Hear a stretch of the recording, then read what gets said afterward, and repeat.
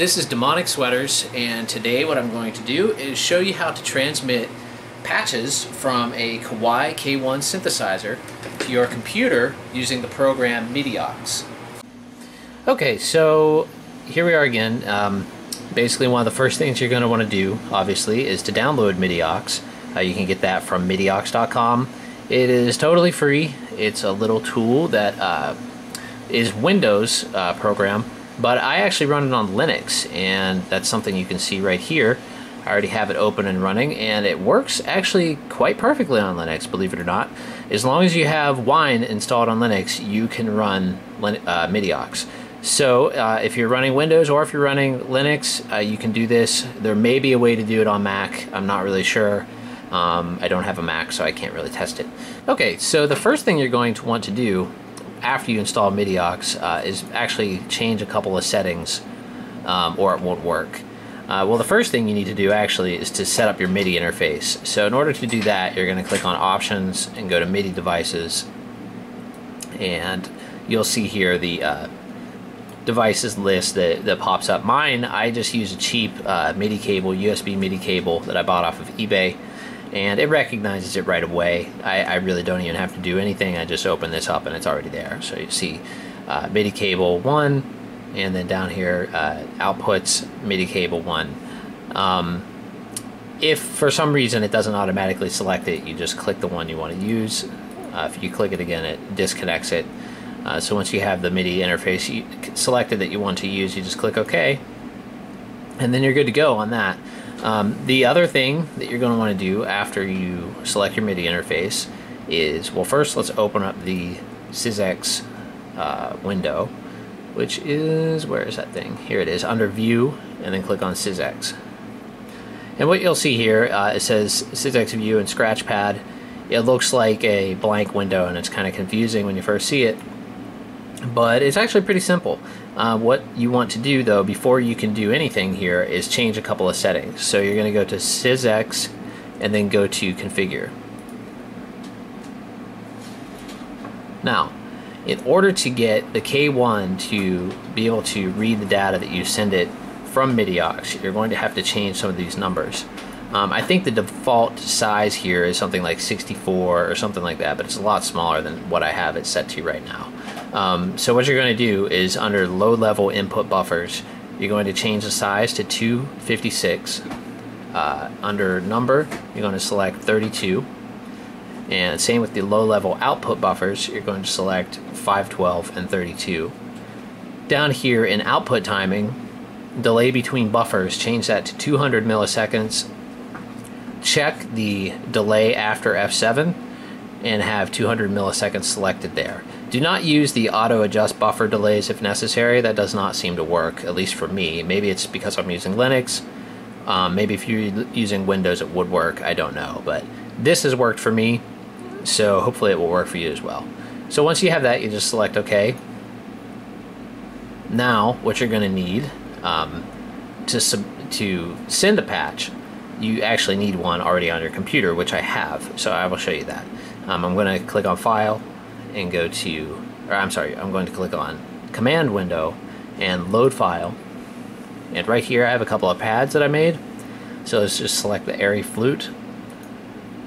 Now you'll notice here you have uh, basically all these hexadecimals. Um, when you first look at this, you're like, what the hell is that? How am I supposed to figure out what I'm doing with all this? Um, and that's a good question because it's pretty confusing unless you have the manual, which I have, the manual for the K1. Um, in the manual for the K1, it explains what each of these are.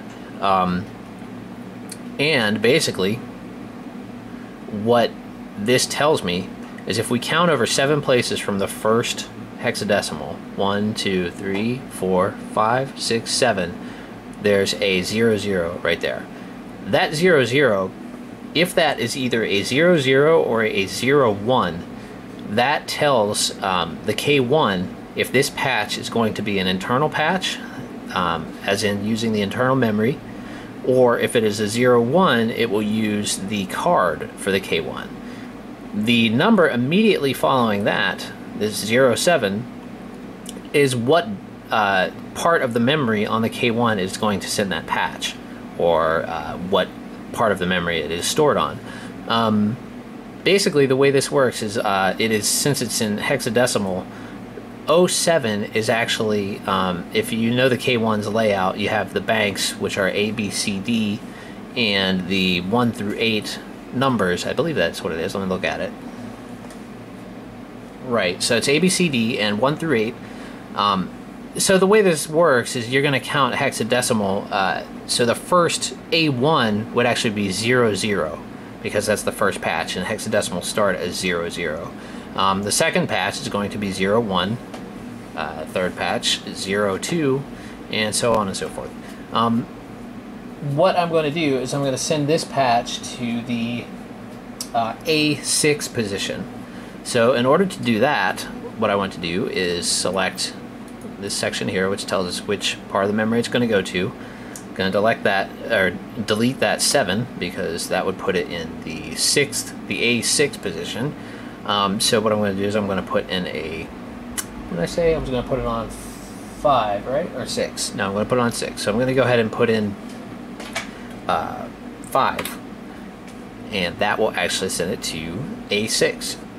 Now, that's all I need to do. I mean, this patch is ready to go.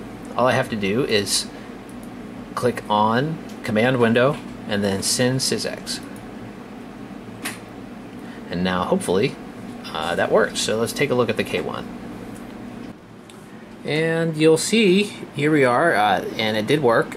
We're on A6, and the patch that I said, uh, sent to the K1 was the Airy Flute patch. So if we listen now.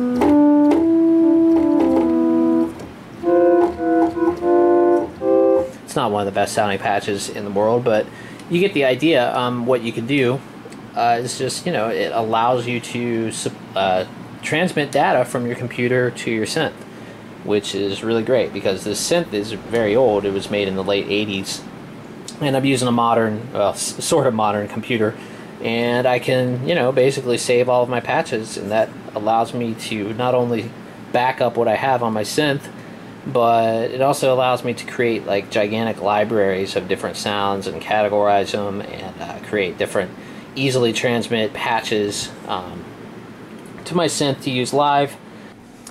Okay, now that we saw how to uh, send a patch to the K1, let's go ahead and uh, receive one. And this is basically the same process, you just do it in reverse, and it's pretty simple. Um, except for this time you don't need to worry about uh, changing any numbers because they're just coming from the synth. So what we're going to do is we're going to click on sysex and then receive manual dump. Basically what that does is this just puts uh, MIDI-OX into a waiting state, waiting for the manual dump on the uh, to come from the synth. And to do that, we actually need to go back to the K1. Okay, so here we back are back on the K1, and uh, what I'm going to do is just push the uh, system button, and you'll see what that does here. Uh, the first thing that comes up is MIDI, and I'm going to press the plus key. or I'm sorry, the minus key, and that will uh, change it to transmit and then we're just going to press um, system again and system again we'll keep going through the system until it gets to MIDI dump execute uh, once you see the screen you're just going to click yes or I'm sorry push yes on the K1 then it'll ask you if you're sure say yes again now it says busy and completed now if we come back over here to the screen, you'll see 2825 bytes received. And that means that the patch was sent. And if we just click on done, now there's that data that just came from the synth. Cool, right? Now what you can do is highlight all of this and then just click file. I'm sorry, click where is it? Oh yes, this is kind of weird. Uh, what you do to save them is you highlight it all in black and then you right click it and then click on save as. And then you can save this as whatever you like. Um, I think what I just did there, uh, I'd have to go back and look, but I think I just did the full uh, dump, which saves the entire, uh, basically this entire bank of single patches. Um, yeah, I believe that's what I did because of all these uh, hexadecimals you see. It's a little too big to be a single patch. But basically, I, hopefully this will give you the idea of what you can do with MIDI-OX uh, as far as storing and transmitting patches um, to the K1. You most likely to be able to do this with a lot of other synths as long as you have the uh, data that you need to be able to basically translate um, what numbers and items you need to modify in your Sysex data in order for it to work. Um, that can be a little bit challenging if you don't have the manual. Uh, if you don't, then basically you're going to have to um, search around online, try to find uh, the technical data for whatever synth you're using. You could, I mean, probably in MIDI-OX, there's probably a way where you could use the actual uh, monitoring features of MIDI-OX to figure all that stuff out. Um, I mean, it has a lot of features that, like I said, I don't really know how to use them, but it's pretty extensive. It's been around a long time, and whoever wrote it, or the developers of MIDI-OX, definitely did an amazing job with it. It is a great piece of software. Uh, it works pretty flawlessly, even in Linux, like I said. So, yeah, it's cool. And like I said, I'm going to put the uh, patches that I have for my synth, for my K1, here on the, the description of the video. You'll be able to download all of those, as well as uh, a link to MIDI-OX. And uh, if you have any questions or comments or anything like that, uh, just feel free to post it in the comments section and let me know. All right, thanks for watching.